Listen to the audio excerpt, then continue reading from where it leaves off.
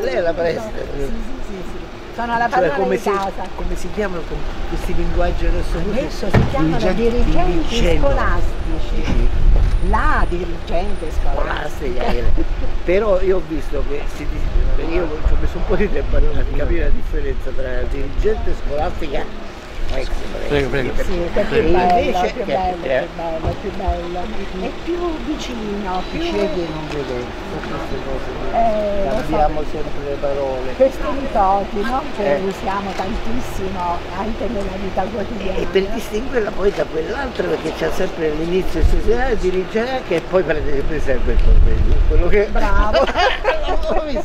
Dunque lei si chiama invece Loredana di Giampaolo. di Giampaolo e l'ex provveditore si Professore, perché non ci andiamo dentro che fa un po' di eh, piacere? sì, Poi ci possiamo salutare. lei. E stavamo dicendo che io per distinguere tra quei due con questi nomi repoanti di adesso. poi ci lo vedo capito io dico presi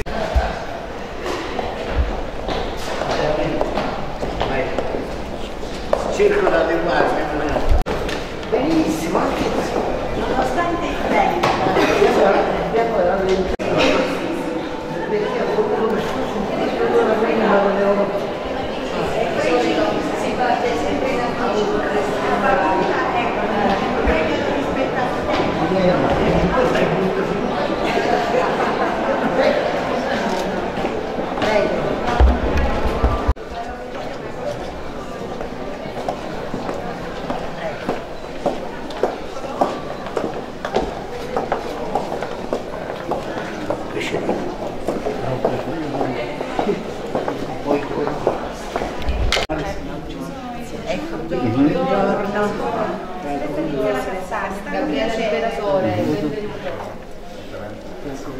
Buongiorno. Sono il rettore dell'Università di Teramo, della sua università. della sua che nella preistoria 67, 70, quando era, quando era ancora all'Intera Università d'Annunzio. Sì. anche fisicamente perché stava come ci Oh, stava- sì, sì, sì, qui a, giù, giù, giù, sì. come si chiamava la strada Allora, allora nemmeno in Viale Crucioli, forse era la prima la prima Sì, eh, ha capito che sì, sì, scuola? sì, sì, sì, sì, era una scuola. Era una scuola, sì, sì. una scuola elementare una. Ma quindi come libero docente sì come libero docente incaricato Io poi avevo 60 65 65, sì, poi ufficialmente penso c'era il professor Lavagna che stava Sì. il comitato Sì, e lui insomma che è uno dei diciamo, maestri a Roma no? certo. mi disse certo. dice ma perché non vai a Teramo? Dico, "Oh, scusa, a Teramo Andrò a Eh, Teramo. Eh certo. E poi È stata sì, adesso, un ricordo. adesso devo- porto i saluti anche di, di Cuccodoro e di Siclari perché Insomma, insomma... le sigle su due istituzioni Professore, Vedo ripresento il sindaco. di Teramo, nonché allievo del professor Siglari, quindi un suo nipotino universitario. vedi io ormai scopro nipoti, pronipoti figli di È un onore averla a Teramo, di averla No, a Teramo, perché Teramo. Eh, professore, il prefetto Graziella Patrizzi, tanto tanto piacere, veramente onorata di sono contento conoscerla. perché trovo anche del- delle persone che legate ad altre persone che conosco molto bene quindi Bene, è stato sempre presente a Teramo, direttamente e indirettamente.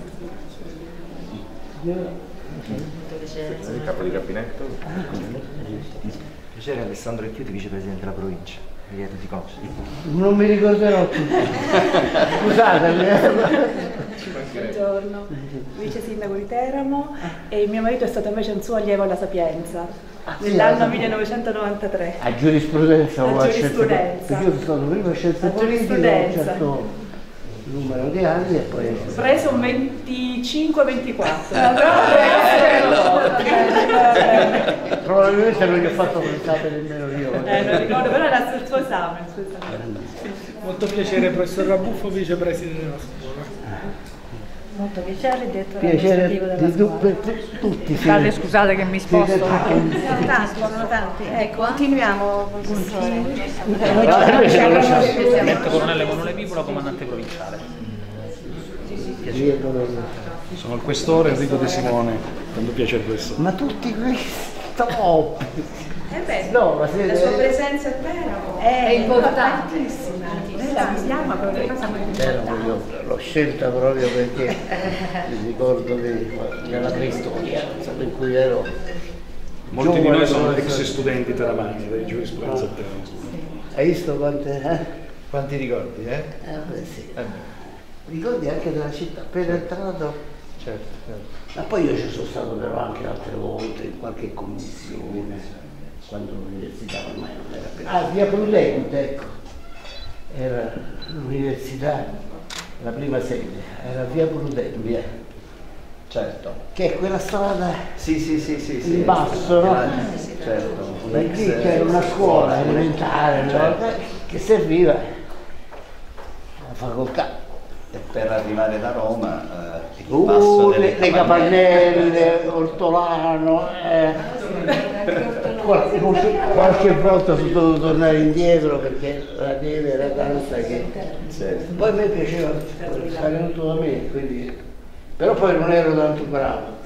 Allora certe volte mi sono non insabbiato, inacquistato nella neve, insomma di tutto ho passato. Sicuramente. Facevo scalo a Rieti,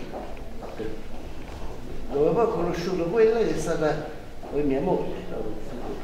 No? E fu l'occasione proprio, la conobbi, perché mi fermavo a Rieti, siccome era la figlia del direttore dello, zucchero, dello zuccherificio, se la conobbi. Ma era toscana, insomma comunque, però in quel momento il padre stava, dirigeva così. Per, Comunque- il viaggio a Teramo Certo. Eh. Qualche giorno fa abbiamo festeggiato i 50 anni di presenza all'Università di Teramo della professoressa Esposito che ha fatto una lezione magistrale ricordandola proprio tra i docenti. Sapete, la professoressa Esposito è la figlia di Carlo Esposito che è stato uno dei miei maestri. Secondo due costituzionalisti, Chiesa Fulli, che proprio era il mio maestro, maestro diretto, ma io poi sono molto legato al un maestro. Professore, se volete possiamo cominciare a prendere un po' Qualcosina, un caffè, Un caffè, solo un caffè, magari Prego. una goccia di latte. Ah certo, certo. Prego, prego, questo un pochino di caffè. Per incontrare gli studenti. Ecco, quanto è attuale il messaggio della carta.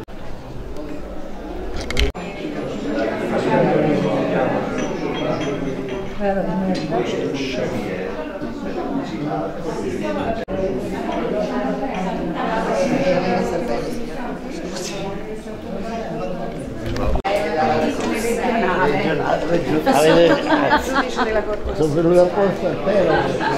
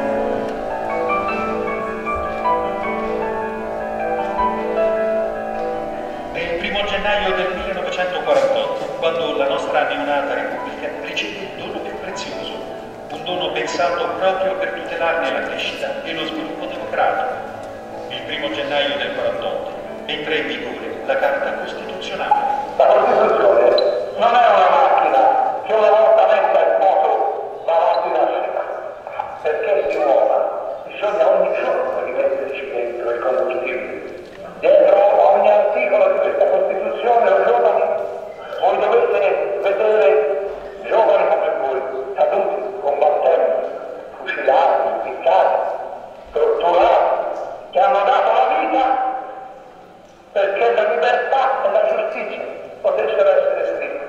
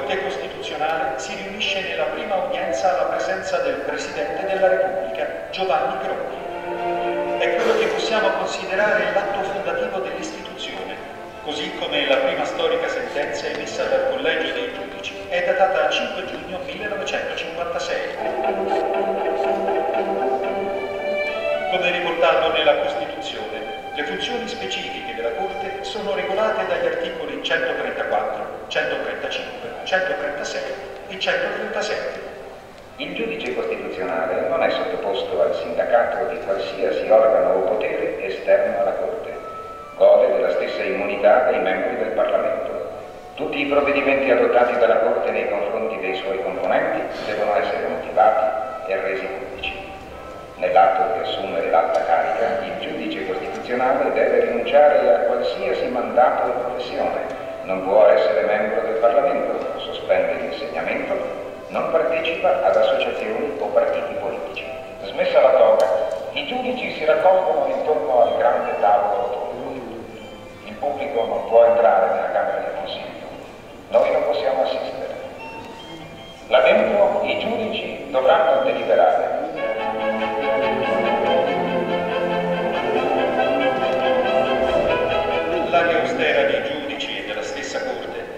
Deve far perdere di vista l'obiettivo primario, il principio indefesso che guida il lavoro quotidiano, il rispetto dei principi della Costituzione.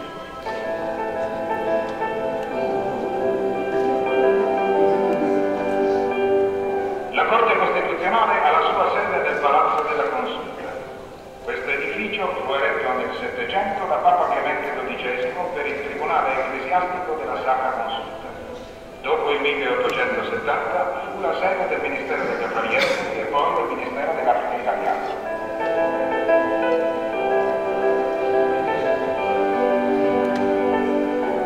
L'edificio della Consulta affianca il Palazzo del Quirinale, la sede della più alta carica dello Stato, e proprio come il Presidente tutela e garantisce dall'alto del colle i cittadini, la politica e le istituzioni legislative.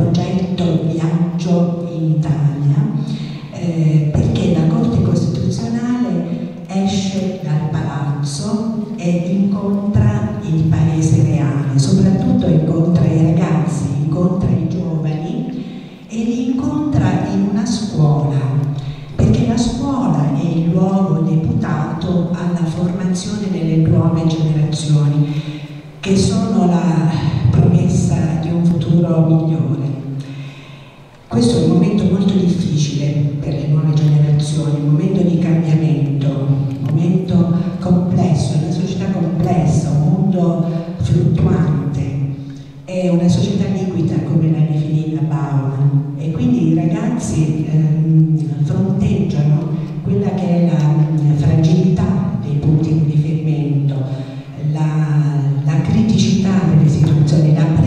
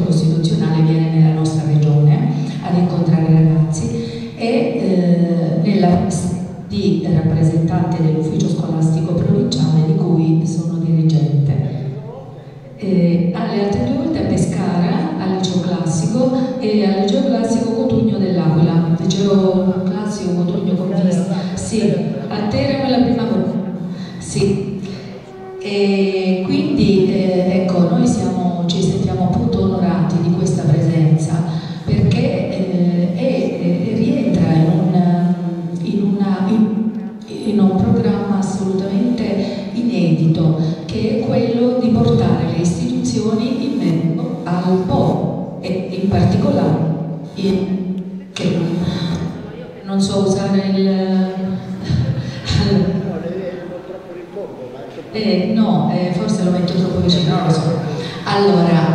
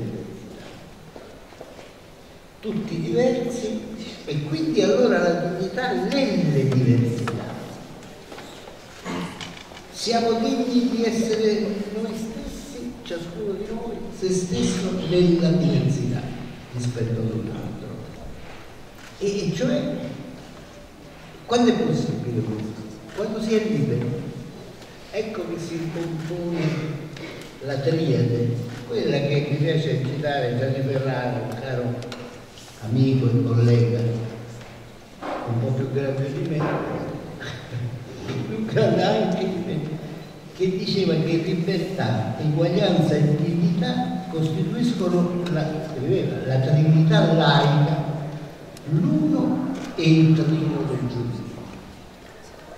Questo è un punto da cui partire, perché tutti uguali, tutti liberi, tutti diversi. Ed è in questa diversità che si allida il problema della costruzione della propria dignità. Che significa dignità? Insomma, inutile questo eh, viene da dignus, virtuoso, probo, meritevole no? di stima, meritevole di rispetto, di onore, no? più o meno queste sono le definizioni che troviamo sul vocabolario. Ma poi si, si è generalizzato. Con Kant, il filosofo Emanuele Kant, abbiamo a un certo punto questa immersione, questo riferimento diretto della dignità alla umanità. Cioè Kant diceva proprio che l'umanità stessa è una dignità, è la. E poi dopo c'era il corollario che avete sentito ripetuto da me e da altri, no? Nel filmato, eccetera, che l'uomo non può essere trattato come mezzo, questo è il ma come fine, e questo lo rivediamo, sappiamo tutti, lo rivediamo sempre. Ma vediamo un momento Costitu nella Costituzione italiana che cosa succede. Prima l'ordinamento canonità, cioè della Costituzione, riferita anche alla dignità. Alla dignità per quel tanto che la dignità e la persona poi si identificano, nel senso che ciascuna persona ha la sua dignità, no? Quindi i concetti di dignità, l'ho detto prima, dignità, persona e libertà sono strettamente collegati. E la Costituzione pone la persona, quindi la dignità, perché la dignità non è altro che la persona, è la qualità essenziale della persona, al centro dell'ordinamento. Al centro dell'ordinamento non c'è più lo Stato. Questo è importante eh, perché io vedo anche giornalmente alla Corte, no? quando capitano diverse questioni di costituzionalità, in cui ormai eh, siamo tutti d'accordo, poi si tratta poi di vedere nelle applicazioni come ragionare e applicare questo concetto, ma quello che è certo è che al centro non c'è più lo Stato. Questa è la visione della Costituzione italiana. Lo Stato non è al centro. Al centro della Costituzione, dell'ordinamento giuridico, c'è la persona e quindi la sua dignità, abbiamo detto, per l'identificazione. Per la persona umana al centro. E quindi l'ordinamento giuridico allora che serve? Beh, il riconoscimento, tra l'altro, è un riconoscimento tale per cui la persona non è costruita per così dire dalle norme dell'ordinamento, ma è presupposto. La persona è fuori, prima dell'ordinamento, delle leggi, delle norme, che pure costituiscono. Una volta si diceva che in genere no, la cosa si riferiva ai diritti cosiddetti diritti soggettivi, che i diritti soggettivi no, degli individui erano radicati sul, sul, diritto, sul diritto oggettivo, cioè le facoltà agenti, il diritto soggettivo, diciamo adesso grossolanamente possiamo tradurlo, no? il diritto soggettivo, facultas agenti, possibilità, facoltà di agire. Era comunque il presupposto della facultas agenti era la norma agenti, non c'è diritto soggettivo, non c'è facoltà di agire se non c'è una norma a monte che te lo conferisce. Questa era la visione proprio in cui lo Stato era al centro, lo Stato e il suo ordinamento erano al centro del costituzionale. Oggi cambia, non è più così, perché che significa essere al centro la persona, la dignità tutte queste belle cose che abbiamo visto? Significa che il riconoscimento è anteriore alla creazione da parte dello Stato. Cioè la persona è prima dell'ordinamento. E questo risulta da... Il bello poi che uno potrebbe dire, vabbè, è un circolo, perché poi dopo tutto questo però è riconosciuto dal diritto oggettivo della nostra Costituzione. D'accordo? Però intanto il diritto oggettivo della nostra Costituzione prevede, no? In certo senso è giusta l'obiezione, no? Ma sempre poi c'è il diritto oggettivo, c'è la norma agenti che permette la facoltà saggenti. Questo è anche vero, ma intanto c'è il riconoscimento che la facoltà saggenti è anteriore perfino al è il riconoscimento di qualcosa che sta prima, che sta avanti alle, alle, al diritto, all'entrata diritto. Voi capite che è una rivoluzione radicale questa rispetto all'ordinamento pre-costituzionale. E, e, allora il diritto poi che può fare? Beh, è chiaro che potrà, dato che l'ha riconosciuta, non può che tutelare. Vedete l'articolo, eh, qual è l'articolo? Dove proprio è detto espressamente, dunque,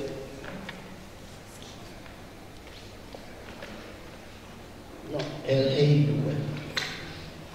Ecco, la Repubblica riconosce e garantisce i diritti inviolabili. Vedete, non solo li riconosce come anteriori, guardate, questo è il punto, che è ribadito poi anche dall'articolo 3, eh. poi comunque già l'articolo 2 dice, la Repubblica riconosce, solo li riconosce perché sono anteriori, li riconosce perché ci sono, non è che li ha creati, il diritto, la Repubblica, il diritto, allora, ha creato e ha riconosciuto perché sono dei dati anteriori. Però poi lì che garantisce, però questi dati anteriori riconosciuti devono essere garantiti. E questo è compito invece della Repubblica, cioè dello Stato. I diritti inviolabili dell'uomo, quali sono? Li, non li definisce. Tant'è vero che qui molti di voi lo sanno, è sorta tutta una polemica tra i costituzionalisti, c'è stata una tesi estrema, quella è una tesi restrittiva e una tesi estrema, io sto mezzo, cioè non ero né per la tesi estrema né per la tesi troppo, cioè c'era qualcuno eh, che sosteneva, ma i diritti inviolabili, questi qui dell'articolo che è 2, no? Sono quelli poi dopo che dall'articolo 13 in poi la Costituzione riconosce libertà personale, domiciliare e via cantando. No? Sono quelli che sono quelli. No, diceva una tesi opposta, no? e poi quella sostenuta dal mio collega, il giudice costituzionale attuale, cioè Barbera. No? No, la tesi Barbera era opposta, quando faceva solo il professore, insomma, oltre al nuovo politico. Ma Barbera sosteneva invece che i diritti inviolabili dell'uomo eh, fossero indipendenti dall'elencazione della stessa Costituzione, cioè ce ne potessero essere quanti se ne voleva. E io sono un po' perplesso di questa eccessiva libertà che oggi dico purtroppo, sapete perché? Perfino la Corte della EDUA, la Corte dei diritti internazionale, no? europea, quella dei diritti, eh, CEDU, non la Corte di Giustizia, quella di Strasburgo, non quella di Lussemburgo, no? che sono due. Purtroppo riconosce in maniera esagerata qualsiasi aspettativa, qualsiasi aspirazione spesso è riconosciuta come un eh, calma, calma, perché noi abbiamo incontrato anche delle questioni alla Corte eh, in cui non è proprio così, anche perché esiste un dovere di solidarietà. La nostra Costituzione non riconosce i diritti, eh, ma anche i doveri. E soprattutto il dovere di solidarietà, che diventa per se stesso un limite alla moltiplicazione inconfessata, incontrollata delle situazioni soggettive. Quindi bisogna stare attenti. Forse la Corte è esatta nel riconoscimento facilmente dei diritti. Vabbè che poi dopo le questioni sono in fondo limitate, condanna dello Stato perché non avrebbe rispettato quel tale diritto, una piccola multa, insomma non è che poi le cose, a differenza della Corte di Giustizia, dell'Unione Europea, invece ha una ben altra importanza e anche vincolo per l'ordinamento italiano. Allora, dico, al di là adesso di questo, il cioè non voglio allontanarmi adesso sarebbe interessante, ma troppo dal tema, effettivamente i diritti inviolabili dell'uomo poi possono essere considerati invece come una categoria intermedia, cioè non si può prescindere dai riconoscimenti testuali, quelli in Costituzione, no? soltanto che possono essere interpretati, questo sì, in maniera ampia. Vi faccio un solo esempio, perché divide la- ancora oggi la dottrina costituzionalista. L'articolo 13 della Costituzione dice la libertà personale è inviolabile. Poi uno va avanti a leggere e dice non è messa forma di detenzione, di ispezione, di perquisizione, eccetera, se non nei casi né qualsiasi altra restrizione se non per atto motivato dall'autorità giudiziaria e nei casi nei modi previsti dalla legge. Allora, qual è il ragionamento che fa la tesi più restrittiva? La, la- libertà personale è inviolabile si intende la libertà del corpo, cioè la libertà degli arresti, delle limitazioni, no? Cioè è riferita, riguarda soltanto la libertà del corpo ed è l'interpretazione che per prima si afferma. Poi però vede qualcuno, Massalli, mi ricordo,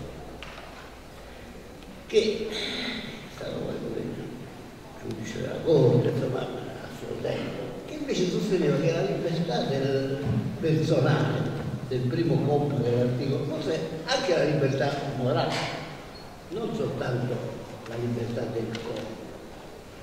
E questa tesi poi ha, ha preso, non dico il sopravvento perché ancora si discute no? se la libertà personale è inviolabile significa che è solo la libertà del corpo, dagli arresti, dalle limitazioni, oppure no. Certo, io sono della seconda opinione, che cioè, non si deve limitare alla libertà. Dice, ma, dice, ma poi cioè, non è ammessa forma di detenzione, casi necessitari, cioè riguarda sempre la limitazione, era stato scritto per quello. Ma intanto c'è questo primo comma, sta da sola. La libertà personale è inviolabile, la posso staccare dall'estero. Vedete, no? fatto questo esempio per dire la mia è una tesi intermedia tra quella di Barbera aperta a qualsiasi riconoscimento. Po' troppo colloquiato, diciamo con quella che poi diventerà la giurisprudenza della Corte eh? Mettere che qualsiasi richiesta, qualsiasi bisogno si traducesse in un Ecco, questo è troppo. La tesi restrittiva che diceva sono soltanto i diritti soggettivi previsti in Costituzione e vedete l'esempio del 13, nella loro più restrittiva interpretazione mi sembrava l'esagerazione contraria, troppo prima troppo poco e questa troppo poco. Eh? E allora ecco la tesi intermedia ho voluto fare esempio dell'articolo 13 perché è rilevante. Per esempio, per me l'articolo 13 non sta a significare solo la libertà del corpo, l'habeas corpus, insomma, quello che si dice, ma invece anche la libertà morale, con una serie poi di conseguenze, adesso non lo detto, non lo ripeto per modo. Ma torniamo alla dignità. Allora la dignità. Abbiamo visto, no? La dignità è la persona, come diceva Kant, è la, la stessa persona, l'ero segnato, ma l'umanità stessa, diceva Kant, è una dignità, eh? è una dignità. E l'articolo 2 e 3 della Costituzione sono chiarissimi.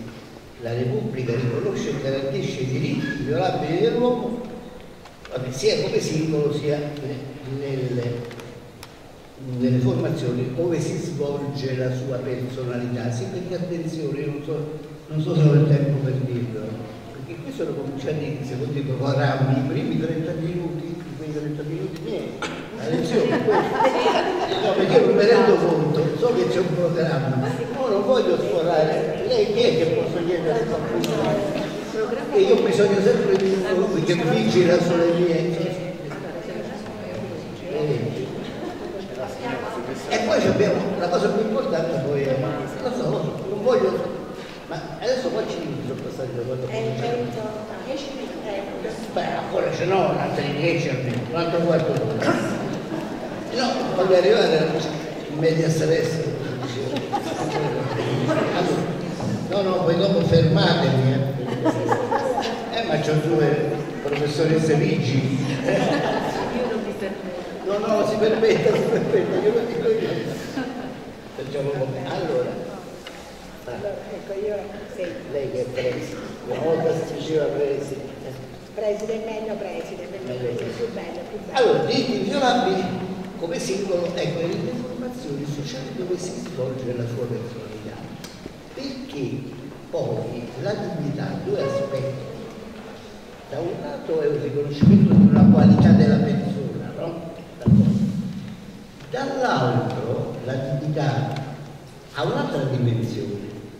Se io esercito bene questa mia qualità della persona, realizzo la mia personalità.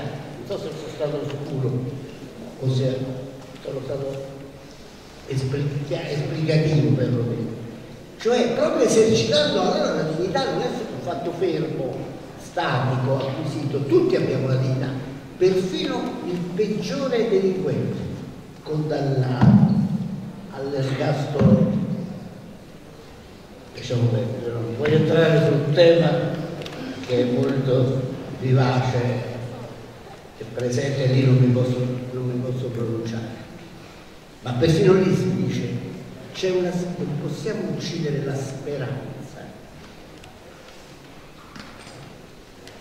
Anche perché esiste una, comunque una delle funzioni, forse la funzione principale è la funzione riso- risocializzatrice della pena, quindi non posso arrivare a, ad applicare pene senza più speranza.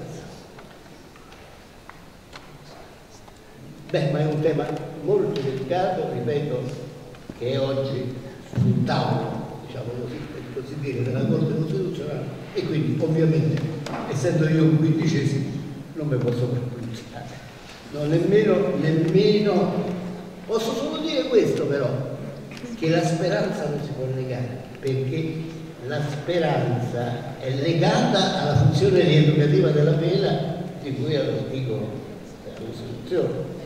Quella, quella funzione, la pena può avere tante funzioni, è stato detto, non deve avere solo la funzione rieducativa, può avere la funzione proprio punitiva, retributiva, come dire, hai fatto il male, adesso io ci penso io a retribuire. Ci, posso, ci può essere la funzione preventiva, no? tante le funzioni abbiamo.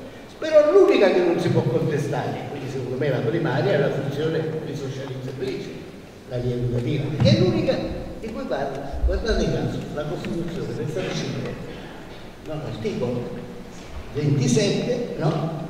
dice le, le pene non possono consistere in trattamenti contrari al senso di umanità, anche questo, e devono tendere alla rieducazione del condannato, o risocializzazione, se volete, diciamo, laicamente tradurre la rieducazione.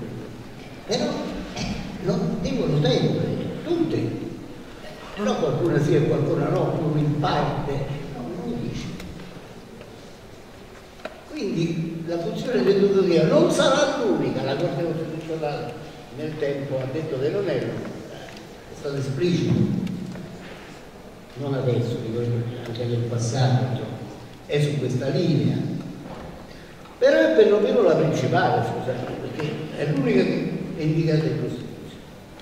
Allora, torno a dire, quindi pari dignità, addirittura Carlo Esposito, uno dei miei maestri, diceva che da, non solo si afferma il principio della pari dignità sociale, no? che è quello che dice l'articolo 3, non letto, che lo compra già, tutti i cittadini hanno pari dignità sociale e poi sono uguali, vedete, davanti alla legge, voi lo sapete, senza distinzioni.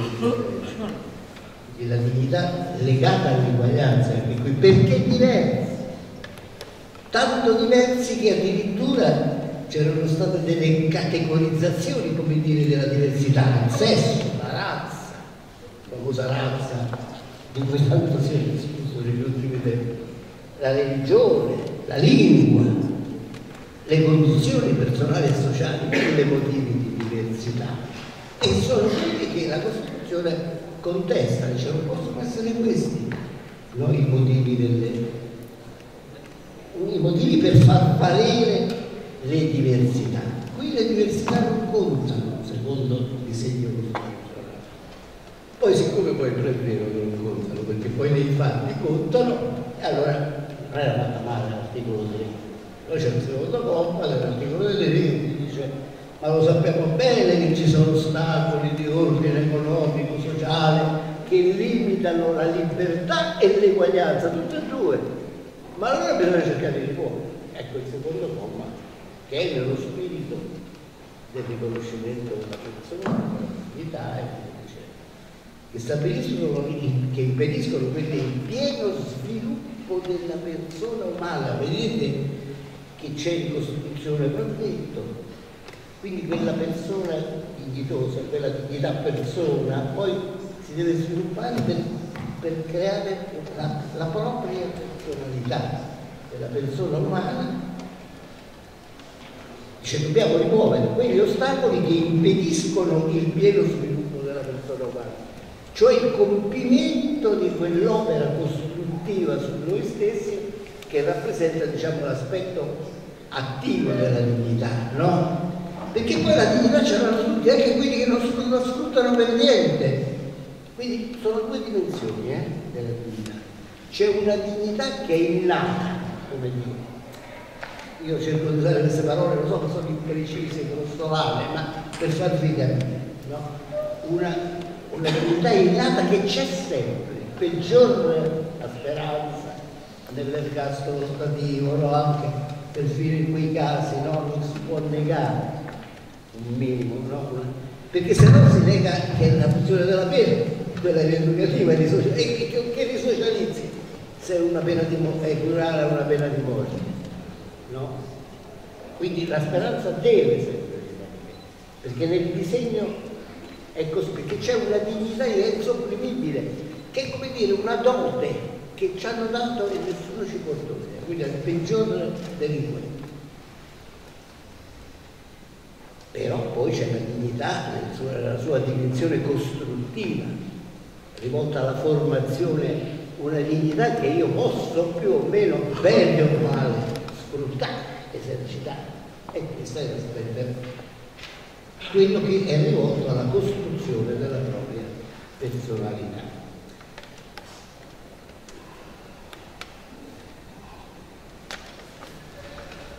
Mi pare che questo forse questo è credo sufficiente. Anche le differenze che esistono di fatto, allora l'articolo 3 abbiamo visto si incarica cercare di superare. Oh, questo benedetto articolo 3, quindi, secondo comma, cioè il fatto della rimozione, il tentativo di rimuovere gli ostacoli che impediscono la formazione della personalità, il pieno sviluppo, come dice.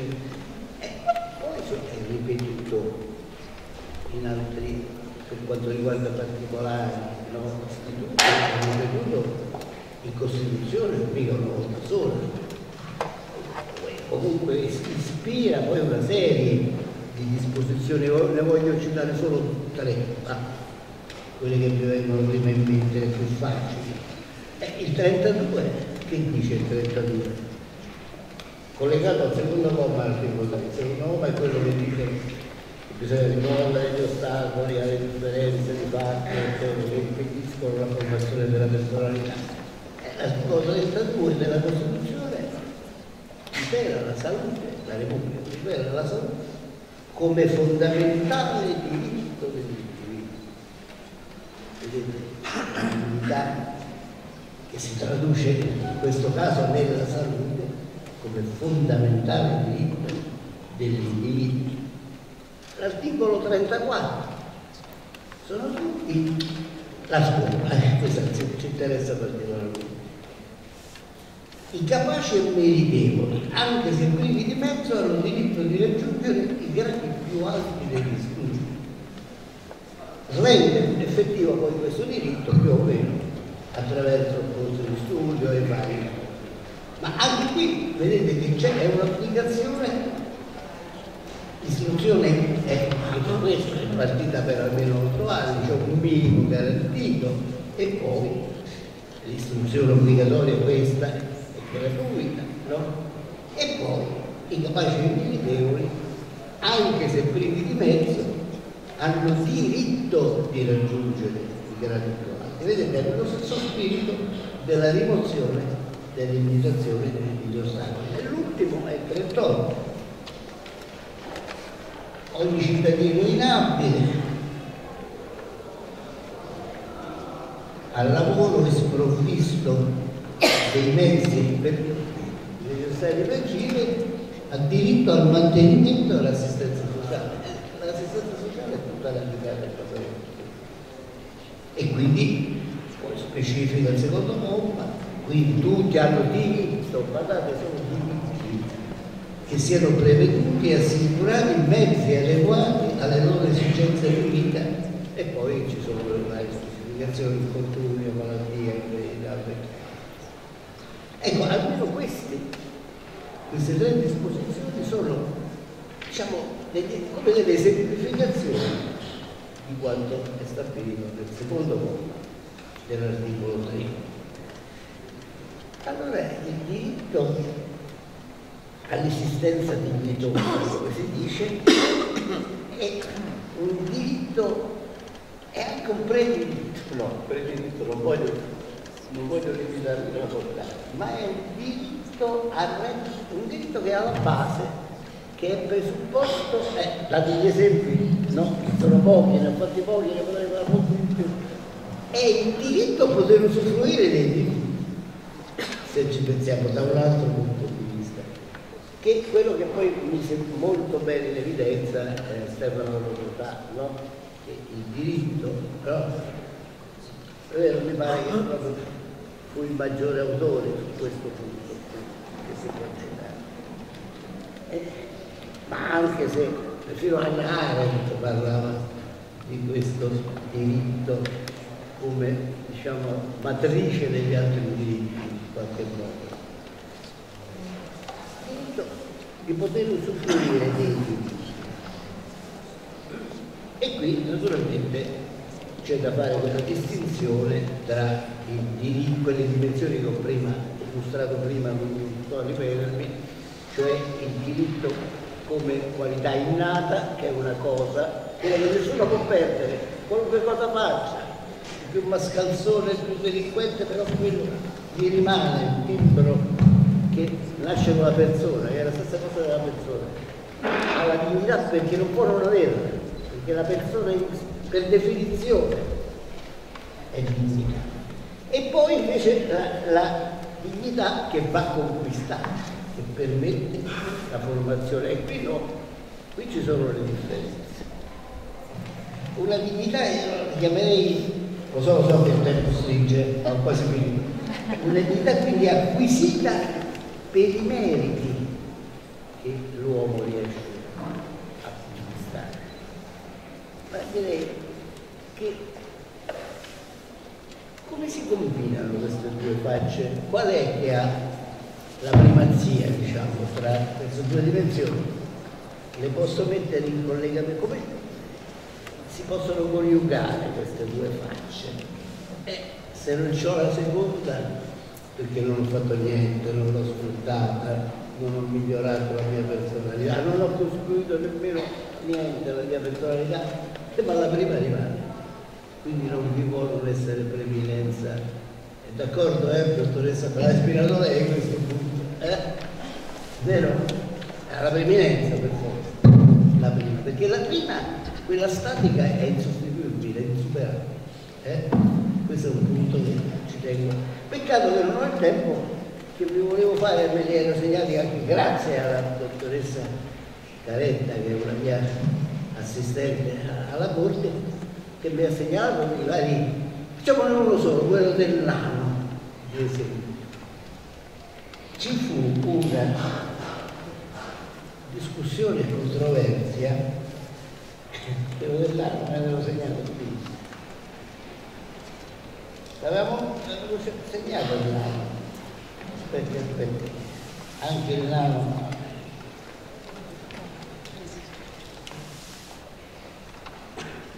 Vabbè, se no ve lo racconto io anche se non trovo, ma qui era scritto bene. Comunque, poi ci sono diversi esempi, alcune questioni di costituzionalità che ho personalmente seguito alla Corte a proposito dell'attività, quindi no, sarebbe interessante, ma non c'è tempo. Allora, lo sentiamo.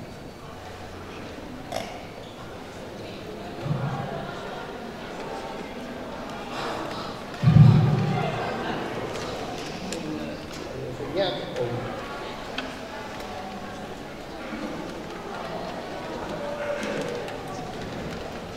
Ecco, eh, 20, 20 anni fa, infatti,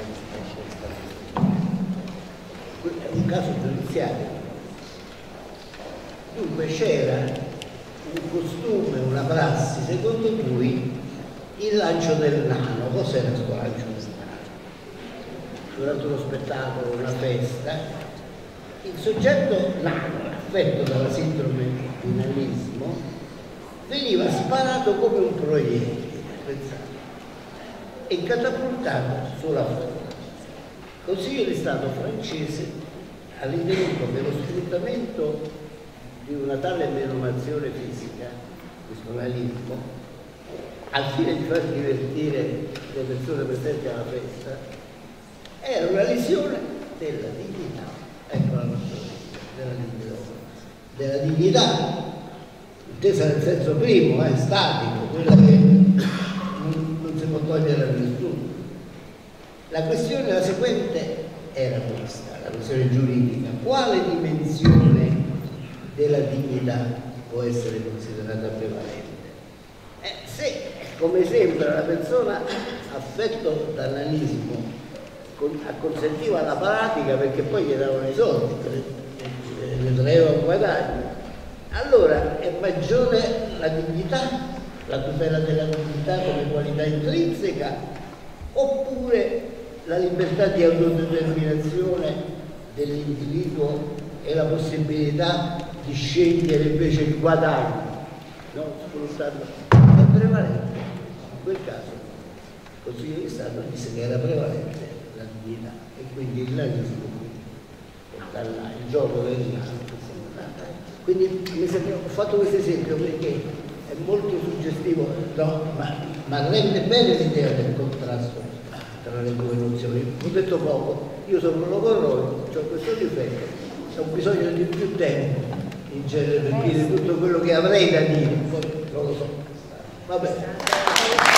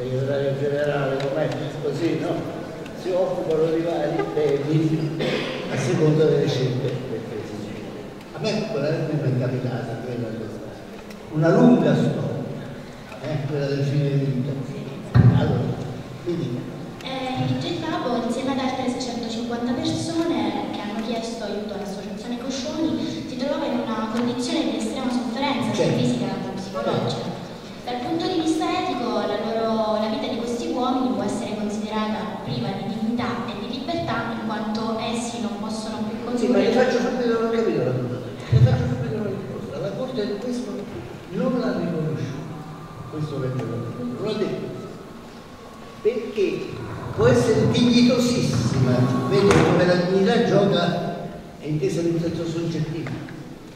Cioè io posso ritenermi in quello stato, posso dire che eh, la mia vita è indegna di essere vissuta, come dire, eh? Beh, ho perduto la dignità. Ma io posso invece dire pure, perché esistono esempi di persone che vogliono invece non vogliono sottoporsi al suicidio assistito, no?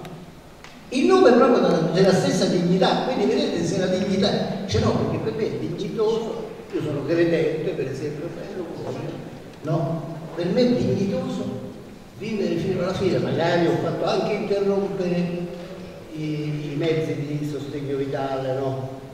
artificiali, perché lo posso fare in base alla legge sul consenso informato che prevede la possibilità di far sospendere questi trattamenti che mi mantengono in vita. So che morirò, però quando morire vede che la dignità, se la intende in senso soggettivo, può servire a prova e a contro, no? Cioè, allora, la Corte, lei vuole sapere che cosa abbiamo detto realmente. Abbiamo detto che solo in certi casi particolarissimi, rispettate quattro condizioni abbiamo stabilito, di cui la principale è essere già attaccati, diciamo, alla, a queste macchine, a questi mezzi che ci permettono di stare in vita, artificiali, no? che ci permettono di stare a respirare, per la respirazione, per la nutrizione, eccetera. Che noi in base alla legge, la legge vigente, recente, possiamo far sospendere. Qual è la conseguenza della sospensione di questi mezzi di sostentamento vitale? Eh, che naturalmente andiamo a morire e ne siamo coscienti e consapevoli e la legge non permette. Ma dire questo non significa ancora dire allora io posso aiutare, posso essere aiutato suicidio assistito, no? Posso essere aiutato a morire. Siccome c'è una disposizione del codice penale che tra l'altro codice rosso, quindi era un periodo diverso in cui non c'era la persona al centro dell'ordinamento ma c'era lo Stato. Eh? Pensate anche a questo, oggi è superatissimo.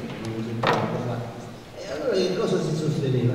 Che l'aiuto al suicidio era punito allo stesso modo dell'istigazione, pensate al suicidio, con le stesse pene severissime, due cose ben diverse. È un conto che io istigo a uno a suicidarsi, no? Altro conto che in casi appunto limite, disperati, come questo lo aiuto.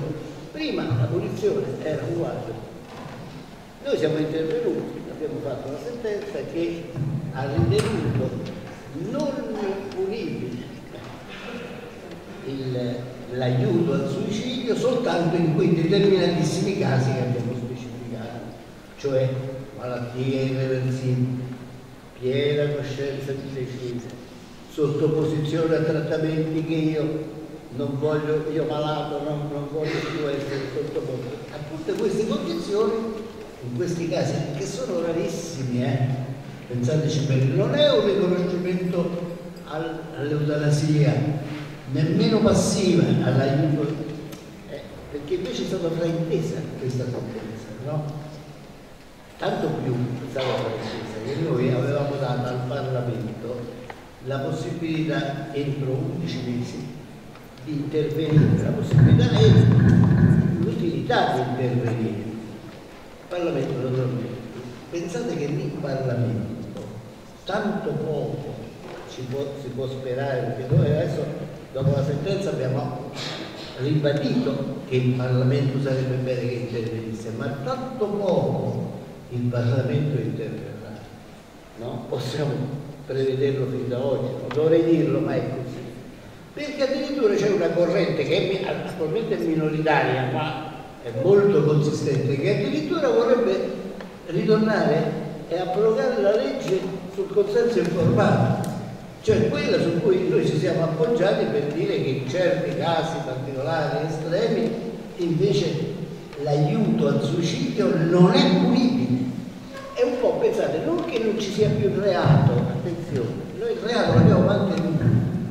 Scusate, è reato se io, per esempio, una persona viene e mi vuole uccidere, no, io per legittima, come si dice, difesa, reagisco e lo, e lo uccido. Eh, l'omicidio rimane reato, però ho una causa esimente, come si dice penalizzata, perché io in quella particolare circostanza non sono punibile perché ho reagito a altrettanto grave per dire. E così qui è lo stesso, noi questo stabilire. E in quei casi particolarissimi chi aiuta il suicidio, come era il caso di, come si chiamava? J. No, di J. Fabbo era malato, no, Cappato. Cappato è un nome che ho usato talmente tanto in questo periodo che me l'ho rimosso. No, è Cappato. Cappato, secondo me, secondo la Corte Costituzionale, non può essere punito alla stregua, non perché non abbia commesso un reato, perché noi abbiamo premesso, nella sentenza che l'ho stessa io, che è la Corte Costituzionale, che il primo valore da salvare è proprio il diritto alla vita, non alla morte. Però solo in quei casi eccezionalissimi la punizione di chi aiuta al cosiddetto suicidio assistito, cioè che gli rende possibile in quei casi eccetera, non è punibile, è una specie di come di legittima difesa. In, ma soltanto in quei casi limitatissimi, mentre purtroppo questa sentenza non è stata letta bene, non si è saputo leggere o non si è voluto, che è peggio, leggerla. Perché vedete è un paradosso, lo stesso Cappato, posso raccontarlo perché non c'è niente di male, niente, non svelo nessun segreto, all'indomani della nostra ordinanza in cui dicevamo adesso ci pensa anche il Parlamento in un anno, in 11 mesi, però se il Parlamento non ci pensa, tra 11 mesi noi riassumiamo la questione e la decidiamo noi, perché il fatto che in certi casi estremi ci sia una stessa punizione no? per l'aiuto al suicidio no? e, e con, con l'istigazione al suicidio, questa è una, cosa incostituzionale. Quindi se non interviene il Parlamento decideremo noi. Noi siamo quindi adesso intervenuti e abbiamo deciso in un certo modo, certo, rimanendo fedeli a quello che avevamo già stabilito allora che c'era il fundus costituzionale, il vuoto incostituzionale della Governo e adesso il Parlamento non ci ha provato in nessun modo e l'abbiamo fatto, ci sono delle criticità, molti hanno criticato. Non la, la pars destruens diciamo, della vecchia ordinanza, perché quella era un'ordinanza che era già una sentenza. In quel caso bisogna intervenire, perché se no c'è un vuoto, un vulnus costituzionale. Poi si può intervenire in vario modo, e qui meglio che il Parlamento lo faccia lui, ci aiuti perlomeno, non ci ha né aiutato né niente, e, e allora siamo dovuti intervenire noi. È chiaro che nella parte costruttiva noi abbiamo esercitato una supplenza legislativa che non ci spetta, eh, però pur di evitare la violazione di diritto costituzionale, quindi perpetuarsi di una situazione costituzionale, non abbiamo potuto fare altro e all'unanimità abbiamo votato questa sentenza. Non lo so se sono stato chiaro, non abbiamo ammesso no, nessuna forma di eutanasia, né attiva, ma nemmeno passiva. Eh? Noi abbiamo soltanto riconosciuto che nel caso, in quel caso eccezionale, come è stato quello di, di eccetera, in quei casi rispettate quelle quattro condizioni strettissime, perché è raro che si trovino tutte e quattro, lì si trovavano tutte e quattro. Tant'è vero che poi andati in Svizzera, dove pure hanno verificato i medici che ricorressero effettivamente quello e solo in quei casi nemmeno abbiamo detto non è reato, è reato lo stesso, come l'uccisione, se io uccido uno perché mi sono scondito in terra, è una causa di non punibilità. Ecco. E allora non è punibile, chi aiuta il suicidio, soltanto in quei esempi Sono stato abbastanza...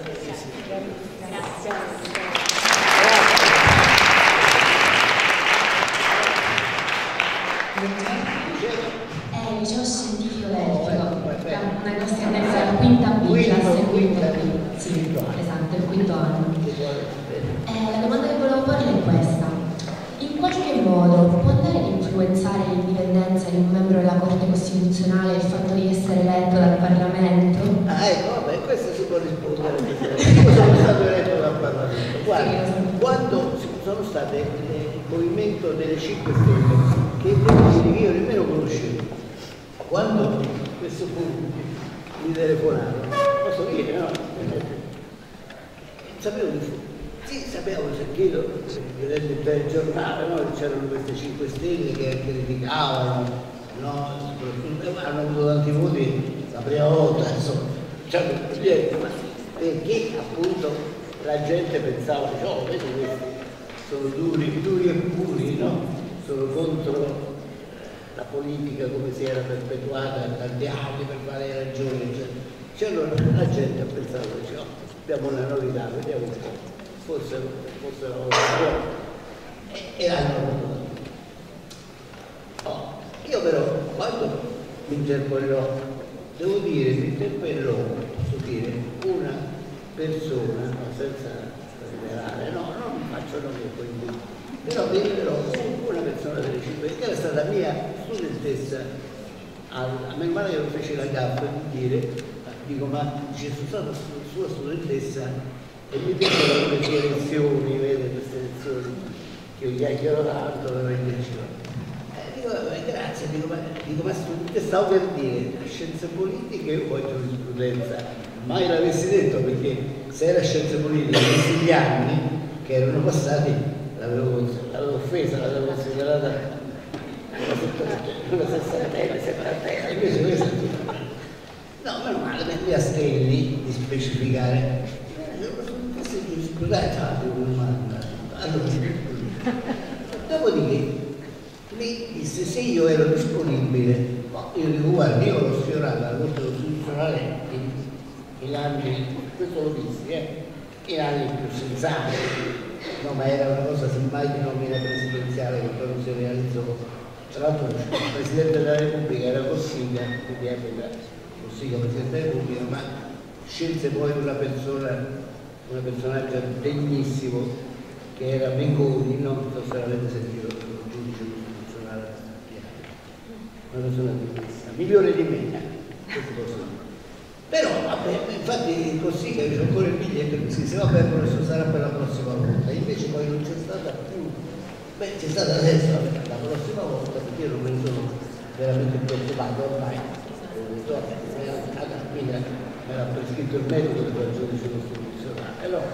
perché io ho sempre studiato per il processo costituzionale, la Corte Costituzionale. D'altra parte non mi hanno mai messo in discussione, tanto è vero che ho avuto i voti insomma, quindi... Ma non era questo è stato questo stimolo, però io andai e poi mi volle conoscere, devo dire, il presidente, il factotum diciamo del Movimento 5 Stelle, prima di decidere, perché anche loro puntavano su diversi nomi, non è che io ero uno dei tanti. Però a un certo punto si vede che decisero, dicevano tanto non otteniamo niente. Poi c'erano stato da parte loro di una candidatura del Partito Democratico e così poi dopo le cose si sono superate. Ma quando mi conobbe, e però io devo rispondere alla domanda, quando mi dice ma quelli nominati dal Parlamento sono diversi da quelli nominati dal Presidente, dipende da caso per caso. Faccio il mio perché dico se c'è uno perché quando mi convocò, posso dire, di, di Maio, no? si chiama, quello che comandava, quello che comandava allora e comanda ancora adesso, abbastanza. Quando mi, mi volle conoscere, perché aveva fatto la scelta, aveva detto, oh, io intanto gli ho detto, tanti di voi non ci riuscite.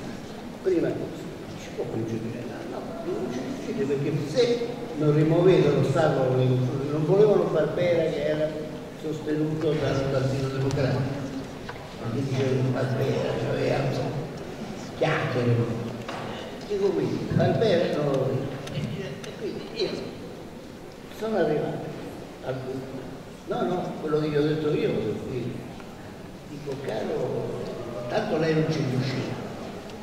E poi, anche se ci riesce, attenzione, io non vi sarò mai grato, perché io sono una persona, e devo dire loro mi hanno chiesto in tutti questi anni, quattro anni, solo due volte volevano sapere se c'era, se una questione che a loro interessava era l'ordine del giorno o no.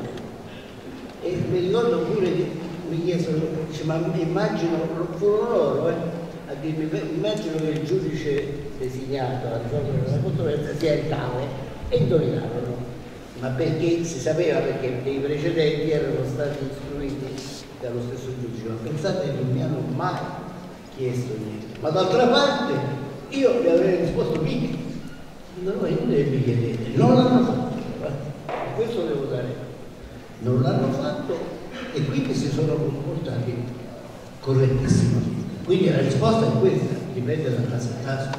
Io non ne ho subito condizionamenti. Poi qui c'è un segretario generale che può testimoniare no, di questa mia all'inizio erano tutti non dico sospettosi ma tutti dicevano beh quello è un giudice che è stato sollecitato da, da queste stelle 5 stelle più o meno. Dunque eh, io non ho avuto rapporto con nessuno poi dopo successivamente. Quindi come si può rispondere?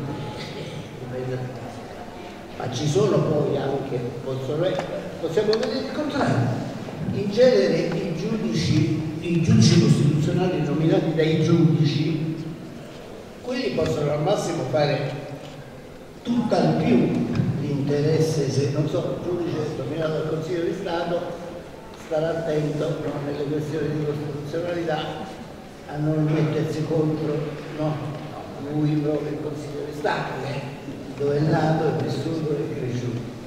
E lo stesso in Cassazione, il giudice che nasce dalla Cassazione rispetterà, darà molta importanza alle decisioni della Cassazione. Ma non è che si lascia nessuno, si lascia un dizionario. Quelli parlamentari c'è, sono quelli più suscettibili. Però vede il caso, un po', che strano, no? Nel caso non sono soddisfatto? Grazie.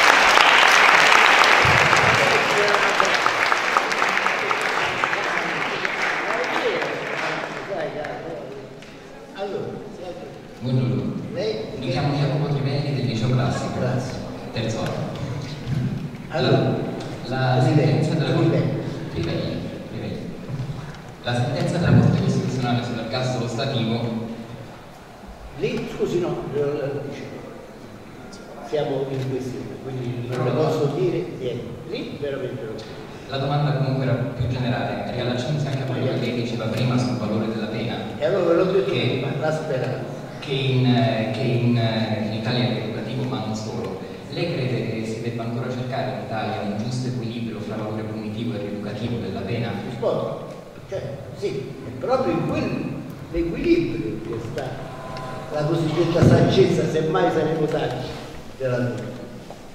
Proprio nello stabilire il punto di equilibrio, perché sono le due esigenze. Io non ne posso dire altro. Però le ho detto una cosa io prima, involontariamente, quasi involontariamente, facendo la chiacchierata mia. Cosa le ho detto? Che la speranza è l'ultima a morire perché altrimenti la pena tradisce la funzione risocializzatrice di cui all'articolo che è, è l'unica esplicita riconoscimento della funzione della pena in Costituzione, articolo 26, ultimo comma. Va bene? Giusto? Bene?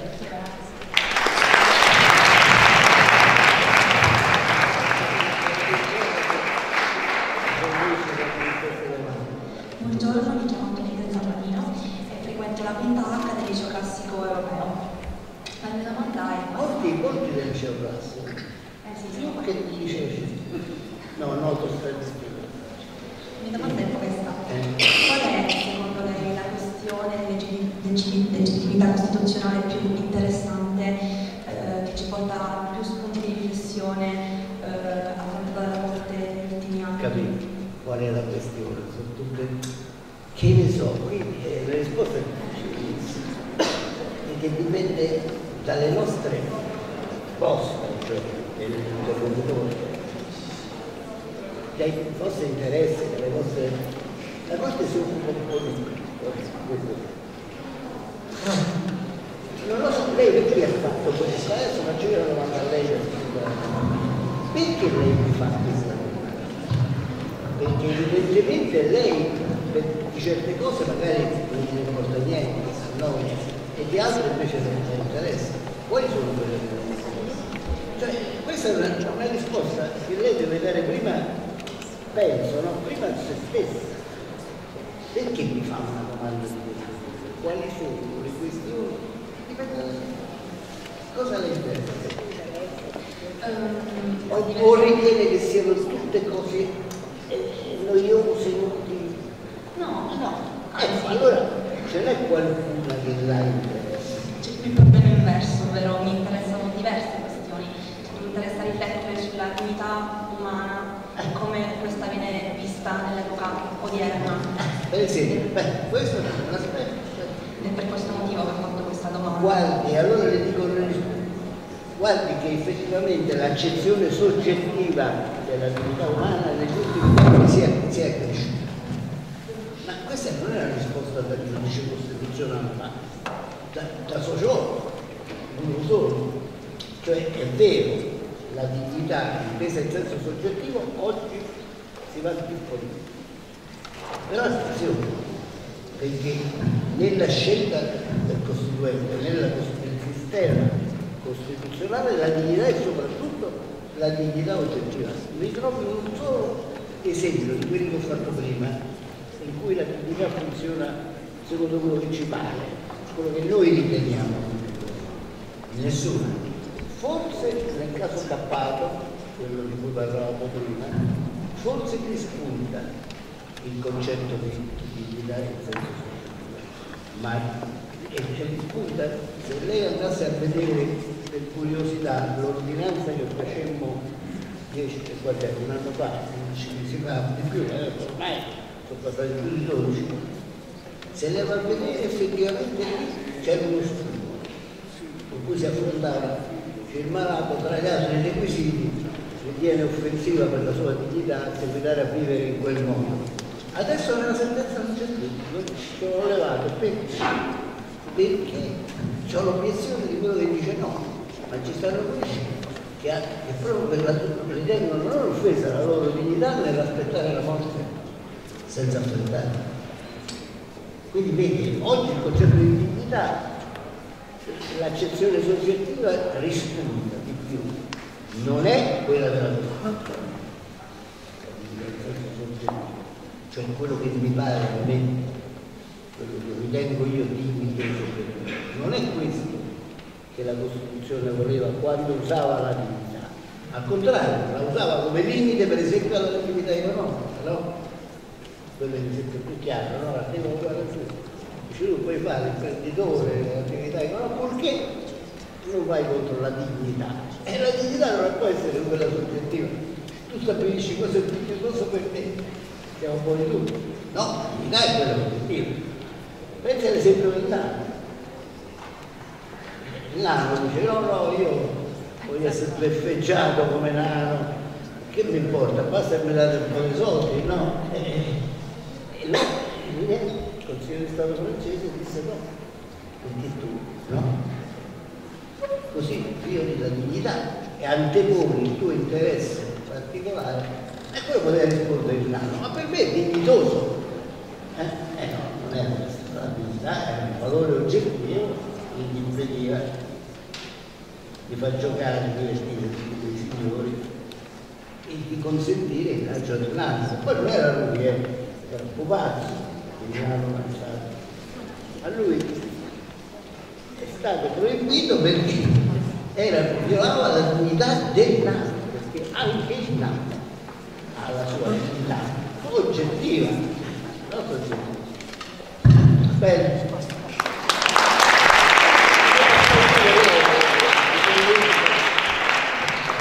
E io sono Verona, tenete conto. Bene. Buongiorno. Allora, io sono Giorgio, Giorgio Olivieri, non dello scientifico, quinto anno. Allora, innanzitutto sono una rappresentante della consulta provinciale, quindi ci tenevo comunque a ringraziarla della consulta provinciale degli studenti. Quindi ci tenevo a ringraziarla anche a nome di tutti per essere qui, perché una persona di spessore come lei, tra noi giovani, è importante avere. Anzi, lei sembra quasi aver superato queste prime file di adulti e giungere ancora più direttamente a noi. Quindi la ringraziamo. Ma io questo lo faccio anche nello spirito della stessa Corte Costituzionale che da quando è stata presieduta, almeno proprio questo io, dal Presidente prima Paolo Grossi e poi Giorgio Lattanzi, abbiamo voluto tutti d'accordo. Grande merito a loro che sono stati i presidenti, perché poi i presidenti sono quelli che dettano no? Eccetera. questa apertura al mondo. Per ora il mondo è solo la scuola e il calcio. Io spero che possa ancora estendere,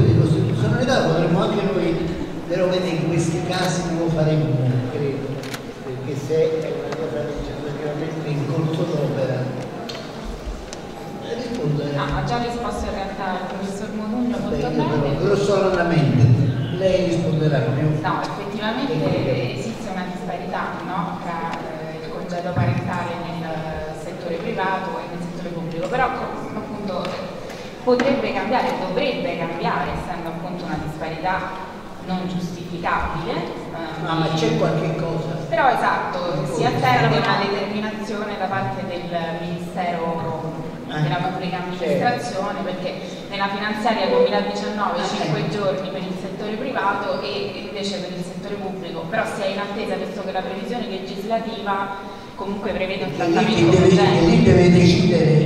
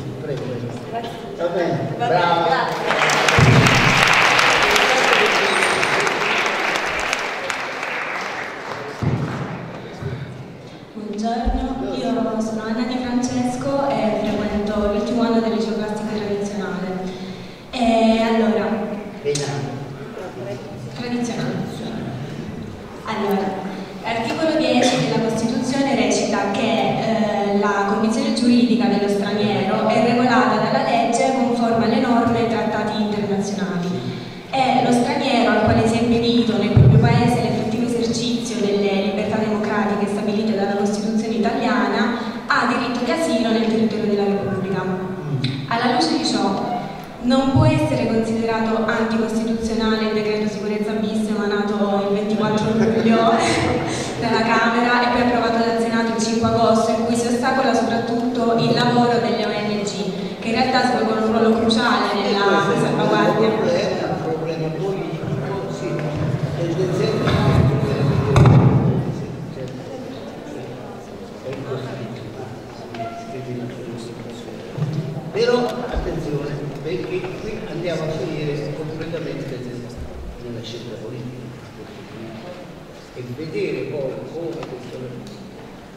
sostanza lei si riferisce al secondo dei due decreti, no?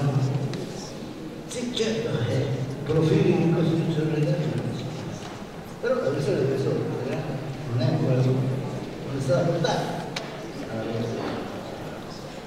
Se lo fosse sarebbe un bel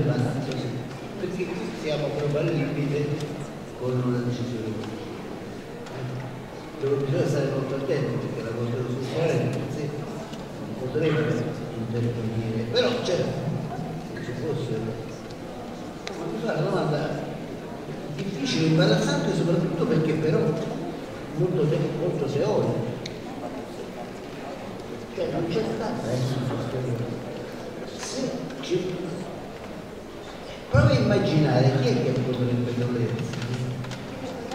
doble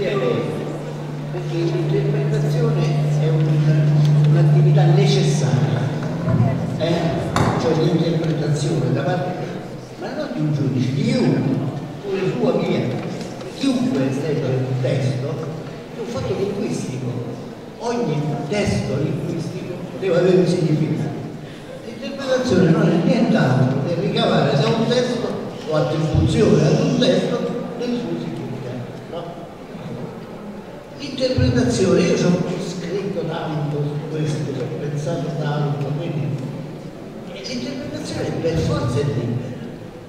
Incontra certo un, un limite nel testo stesso, però quante cose si possono far dire, o poi lei pensi che un testo giuridico, parliamo quando sta a fianco ad altri testi giuridici, una legge a fianco ad altre leggi. Queste altre leggi, la prima e la seconda, stanno al fianco della terza, della quarta. Cioè c'è tutta una trama linguistica.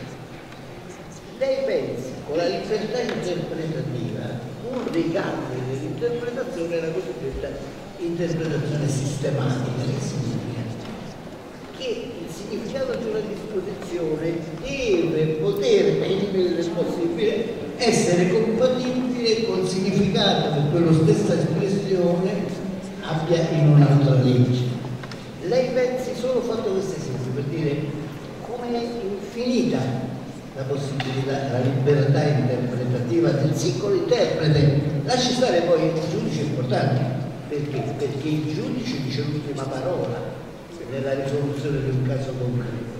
Quindi la sua è un'interpretazione che pesa, accidenti, perché è vincolante, salvo poi ricorrere alla ma se no è chiaro che il giudice normalmente dei vari gradi di appello, la parola della Cassazione è una parola Dio. Eh.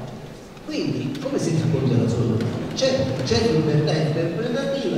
Guardi, le faccio l'esempio della Corte Costituzionale. Noi ci troviamo spesso di fronte a questioni di costituzionalità abbastanza complesse, in cui però è intervenuta la Cassazione, ripetutamente.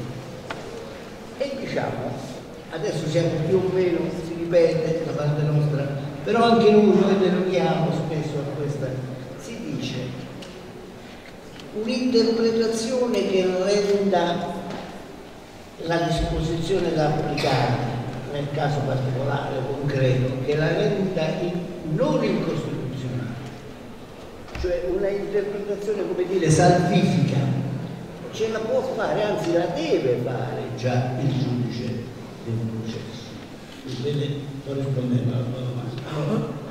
Oh.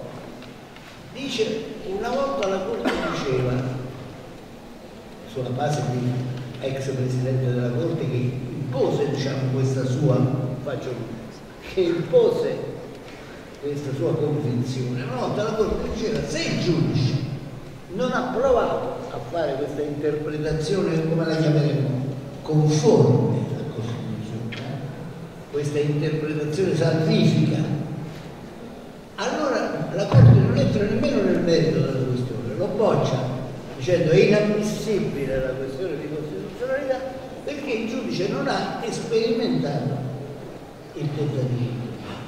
Poi la Corte si è corretta e io mi ricordo che l'avevo criticata questa Corte così quando non ero giudice, dalla dottrina, perché avevo detto ma quando è che è possibile, come la Corte pretende, dare, perché dice la Corte interviene solo se è impossibile dare un'interpretazione conforme alla Costituzione. Ma niente è impossibile nella vita.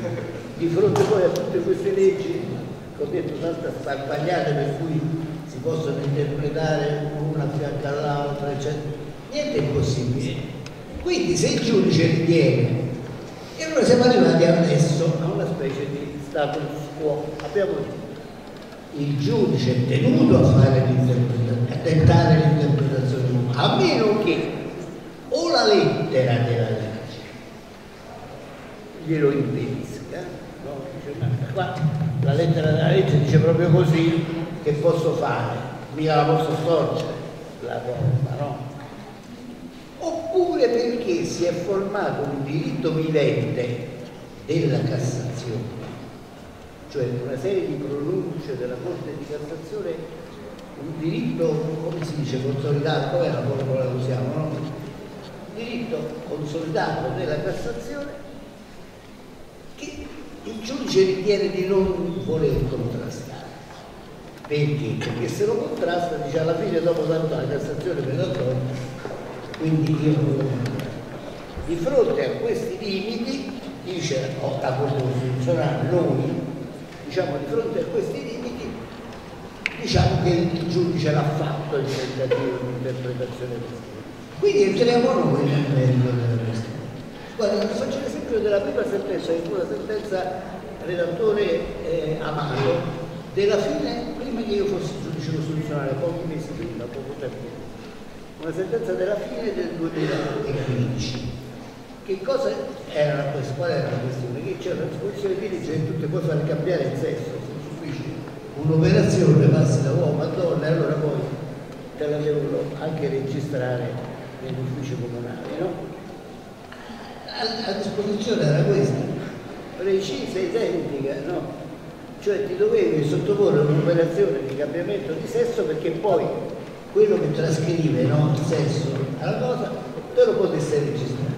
Il giudice disse, eh qui non è inutile, no, perché tentarono di dire, ah, ma deve trascrivere lo stesso anche se il sesso non è cambiato, no? Chirurgicamente, ma è un cambiamento, no? Lei le sa come. Ecco, possono vedere queste E allora la, il giudice disse, io faccio l'interpretazione, non posso fare l'interpretazione perché me lo vieta la lettera della legge parla proprio di mutamenti dietro operazioni eh? e quindi sollevò la questione no? alla Corte sollevato si vede l'avvocato no? insistente quindi sollevarono la la Corte cosa ha risposto? ah beh la prima volta avrebbe un altro tempo avrebbe detto vabbè ma non l'ha provata l'interpretazione conforme no? non ha provato, ha sollevato la questione senza provare a, mettere, a fare l'interpretazione conforme alla Costituzione. Quindi inammissibile e basta. No, la Corte per la prima volta non disse inammissibile, disse il giudice ha tentato di farlo, non c'è riuscito perché lui aveva di fronte la lettera della legge dell'Unione La salute, perché lì si trattava di vedere se era la salute fisica che veniva in questione o anche quella psichica. Però il giudice interpretò nel senso della salute fisica, cioè non c'è un intervento per cambiare il sesso, no? era un fatto che attinente alla sfera fisica. Invece la Corte ragionò diversamente, non gli bocciò la cosa, il giudice ha tentato, non l'ha tentato, non ha detto che non la può fare perché c'è la lettera della legge che è chiaro che si deve la salute.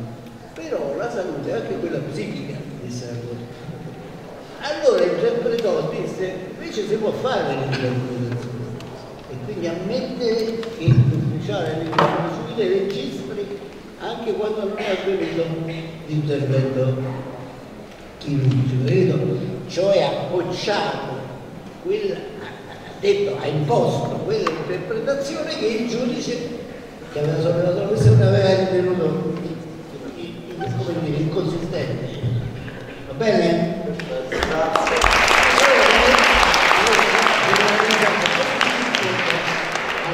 Lei come risponde adesso alla luce di questa sua stessa domanda?